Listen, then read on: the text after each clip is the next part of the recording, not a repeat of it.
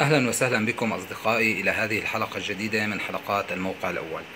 في هذه الحلقة سوف آه، أتكلم عن عطل واجهني آه، في تنصيب Windows 10 على لابتوب Dell آه، صراحة العطل كان يتمثل في رسالة خطأ كانت تظهر أثناء تنصيب ال Windows عن طريق ال flash memory. أنا أقوم بتنصيب ال Windows عن طريق ال flash memory لأن السواقة الخاصة بهذا اللابتوب بها عطب. كنت أقوم بتنصيب ال Windows بعد أن قمت بحرق آه، نسخة آيزو على هذه الفلاشة Windows 10 Redstone 2 وأثناء التنصيب كانت تظهر لي رسالة الخطأ هذه التي تتمثل بالكود 0x800705070 بحثت عليها في الانترنت وقد أعطوني نتائج كثيرة. منها يقول قم بفحص الفلاشة وإجراء عمل آه، scan للفلاشة وإصلاح قطاعاتها. كما في الشكل التالي. زر يميني خصائص ومن ثم الانتقال إلى Tools ومن ثم Check now ومن ثم وضع إشارات الصح على كلتا الخيارات آه، على جميع الخيارات آه، الفحص الإصلاح التلقائي والإصلاح مع آه، يعني الفحص مع الإصلاح معا ومن ثم Start. سوف يقوم بإصلاح هذه الأعطال إن وجدت بهذه الفلاشة.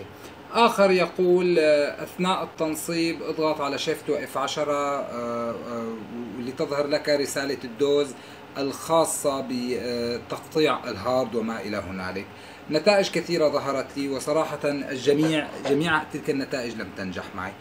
الأمر الوحيد الذي نجح معي هو أني قمت بوصل سواقة خارجية عن طريق كبل خاص بها تماما وبدأت بتنصيب Windows عن طريقها. وبدأت بتنصيب Windows عن طريقها على هذا اللابتوب ال Dell وبالتالي نجحت الطريقة ولم تعد تظهر لي رسالة الخطأ تلك. الموضوع لا يتعلق بنسخة بعطب بنسخة ال Windows لا يتعلق بعطب الفلاشة.